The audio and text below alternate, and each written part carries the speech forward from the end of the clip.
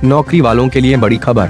अगर नहीं दिए ये डॉक्यूमेंट तो कट जाएगी आपकी सैलरी आप नौकरी करते हैं तो ये खबर आपके लिए बेहद महत्वपूर्ण है, क्योंकि जिसकी सैलरी आयकर के दायरे में आती है तो उसको अपने इन्वेस्टमेंट प्रूफ जमा करने होते हैं। कंपनियाँ अपने कर्मचारियों से दिसंबर के अंत से लेकर के मार्च तक इन सभी डॉक्यूमेंट को जमा कराती है। लेकिन कुछ कर्मचारियों को इस जानकारी नहीं होती है और वे अपनी सैलरी कटवा बैठते हैं। आइए जाने इसके बारे में। क्यों जमा करने होते हैं डॉक्यूमेंट मार्च से पहले कंपनी आपसे पिछले महीनों में किए गए इन्वेस्टमेंट प्रूफ की कॉपी माँगता है, ताकि वे आपके द्वारा टैक्स बचाने के लिए किए गए इन्वेस्टमेंट की जाँच कर ले। आपकी कंपनी आपको बाद में टैक्स ज़्यादा या कम देने के झंझट से बचाने के लिए ऐसा करती है।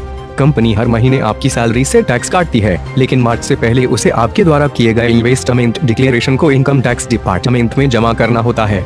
ऐसा करने से कंपनी और आपको कोई परेशानी नहीं होती है। कौन से डॉक्यूमेंट होते हैं? जमा, अगर आपने लाइफ या हेल्थ पॉलिसी में पैसा लगाया है तो उसके प्रीमियम की रसीद देनी होगी।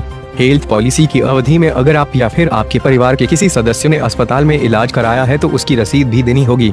इसके अलावा, अगर आपने कोई हेल्थ चेकअप करवाया है तो उसका बिल भी देना होगा। अगर आप किराए के मकान में रहते हैं तो भी आप टैक्स में छूट पा सकते हैं।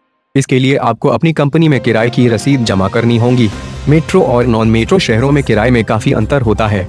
अगर आप मेट्रो सिटी में रहते हैं और आठ हज़ार रूपए ऐसी ज़्यादा मकान का किराया अदा करते हैं तो आप एच आर भरकर टैक्स सेविंग कर सकते हैं।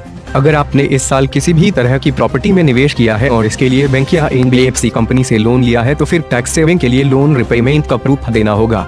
अगर इस साल में घर का पोजेशन मिल गया है तो आप इस पर भी टैक्स में छूट ले सकेंगे।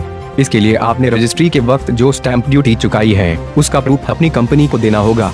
बच्चों की पढ़ाई के लिए एजुकेशन लोन के रिपेमेंट करने पर भी आपको टैक्स छूट मिलती है।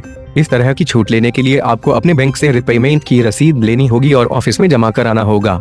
बच्चे की स्कूल फ़ीस का पेमेंट किया है तो इसकी भी ओरिजिनल रसीद जमा करनी होगी।